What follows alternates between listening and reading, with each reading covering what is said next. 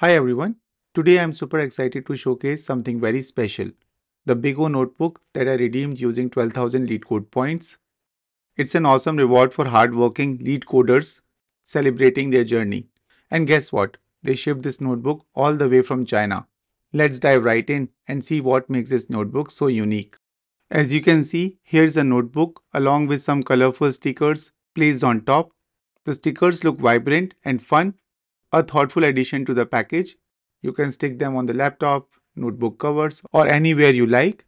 Now let's move on to the notebook itself. It's neatly packed in a small polythene cover. So let's get that open. The binding feels absolutely premium. It is designed to look like leather, but it is lightweight and durable, perfect for frequent use. And to add to its elegance, the clasp is magnetic, providing a sleek and secure closure. Here's the first page where you will find the LeetCode branding and design. And the next page is all about BigO notation displayed on high quality premium paper.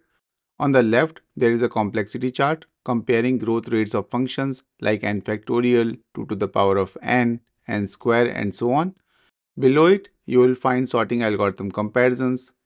On the right, there is a handy guide to time complexity of operations like insertions, deletions, etc. across various data structures. It's nice to keep these visuals handy even outside the notebook. They are perfect for quick reference. And here also, they have provided some more stickers. And now on to the main part, the notebook's memo pages itself. These are perfect for jotting down algorithms, pseudo code, or daily practice problems. The paper feels smooth and durable, ideal for any kind of writing. This notebook is sleek, functional, and perfect for tracking algorithms and learning on the go. Thank you LeetCode for rewarding consistency and hard work. And that's it for the part 1. If you enjoyed the unboxing, stay tuned for part 2 where I'll be sharing my LeetCode journey and how I earned this reward just by being consistent.